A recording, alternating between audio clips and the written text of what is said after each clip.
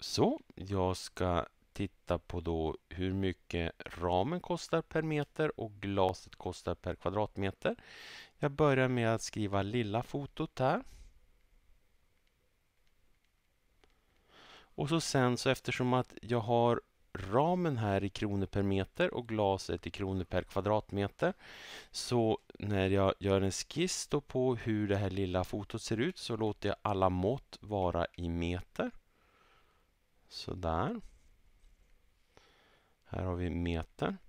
Så då har jag måtten 24 gånger 36, alltså 0,36 meter gånger 0,24 meter. Och glaset, det sätts ju på hela ytan, så att då räknar jag ut arean här då. 0,36 gånger 0,24, det är lika med 864 meter kvadrat där. Och så räkna ut omkretsen på den här ramen. För det är ju detsamma som längden på den ram som jag har. Så 0,36 gånger 2. Jag har ju den längden både där och där. Plus 0,24 gånger 2 för jag har ju den längden där och där. Så då blir den 1,2 meter. Sådär. Och så gör jag samma sak för det stora fotot. Jag gör en liten skiss. Sådär. Och här har jag 30 gånger 60, så 0,60 gånger 0,30. Det här ska vara i meter det också. Så. Och så får jag en area då som är 0,3 gånger 0,6. 0,18 kvadratmeter. Och en omkrets 0,6 gånger 2 plus 0,3 gånger 2 på samma sätt som för det här lilla fotot, alltså 1,8 meter. Sådär.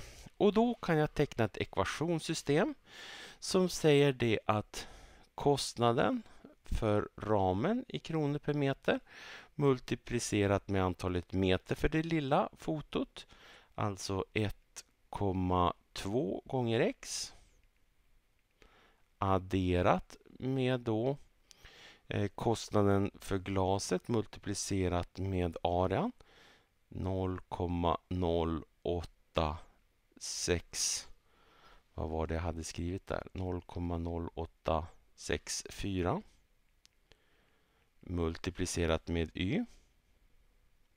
Sådär. Plus 50 kronor är lika med 121 krona. Sådär.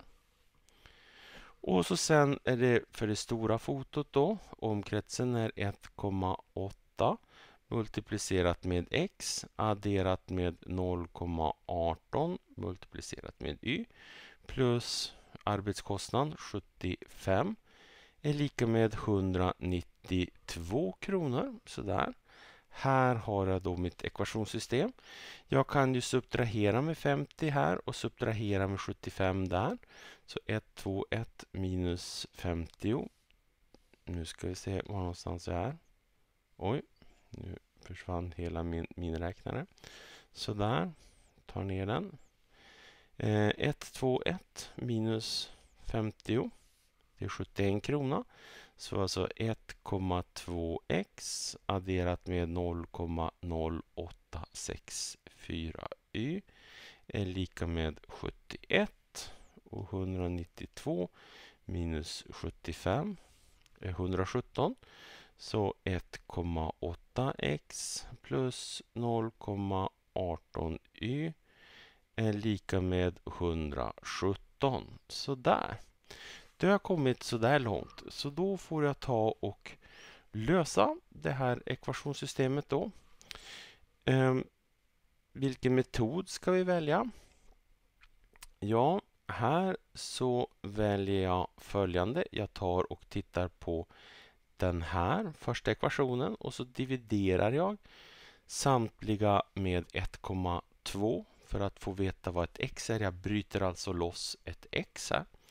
Så jag skriver om den först. 1,2x plus 0,0864 y är lika med 71. Dividerar samtliga termer med 1,2 så får jag x plus 864 delat med 1,2.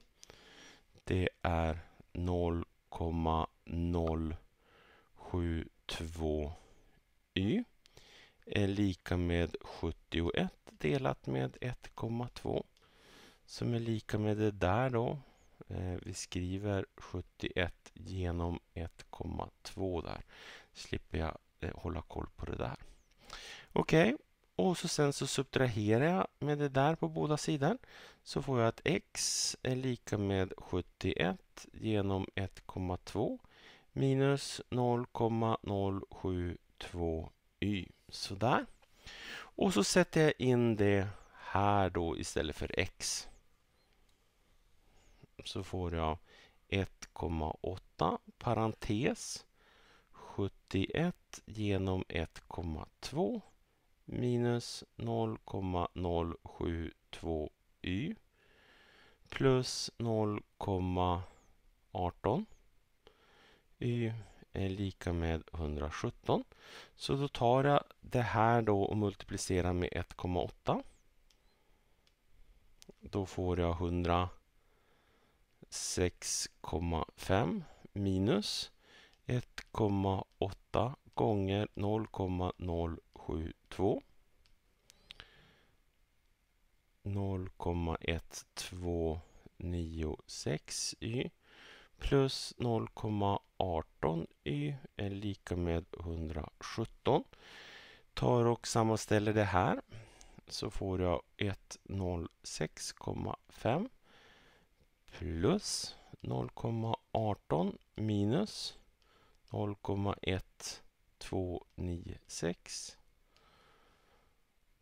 0,0504 y är lika med 117. Jag subtraherar 106,5 på båda sidor.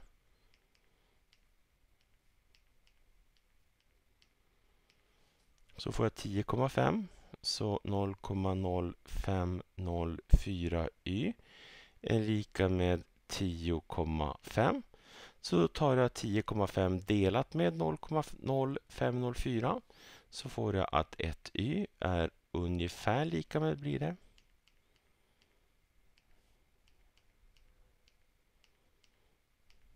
Sådär.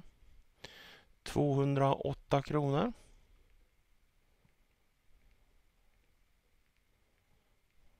Per kvadratmeter. Sådär, så då vet jag ju vad y är här. Sen för att räkna ut vad x är då, så x är lika med 71 delat med 1,2 minus 0,072 gånger det här då 208,3333. Så x är ungefär lika med 71 delat med 1,2. Så där minus 0,072 gånger det där som är mitt svar då. Sådär, 44 kronor per meter. Så svar. Ramen kostar 44 kronor per meter och glaset kostar eh, 208 kronor per kvadratmeter. Tänk på enheterna här. Ramen, det är ju kronor per längdenhet och glaset det blir kronor per ytenhet, alltså kronor per kvadratmeter och kronor per meter för ramen. Eller för, ja, för ramen. Så, då går vi vidare till nästa.